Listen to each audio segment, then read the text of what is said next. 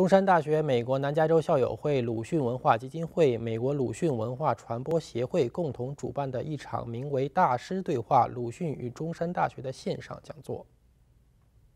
本次的讲座旨在让校友会的校友们更深入地了解鲁迅先生与中山大学的故事。讲座当天，有请到了鲁迅长孙及鲁迅文化基金会会长周令飞先生，以及中山大学副校长及党委常委蓝平先生作为特邀嘉宾，并由中山大学中文系教授及中国鲁迅研究会理事朱崇科教授、鲁迅文化基金会首席专家及上海鲁迅纪念馆前馆长王希荣教授作为主讲嘉宾。周令飞先生在致辞时表示，鲁迅在广州中山大学的文化研究充满意义，并肯定了本次讲座对发散鲁迅思想、传播中国文化、沟通人们的心灵具有重要的意义。我感到许绍礼先生和他的很多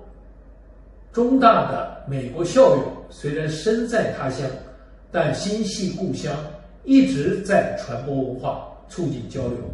所以他让我。常常想起鲁迅的一段话，他说：“人类最好是不隔膜，相关心；然而最平整的道路，却只有用文艺来沟通。”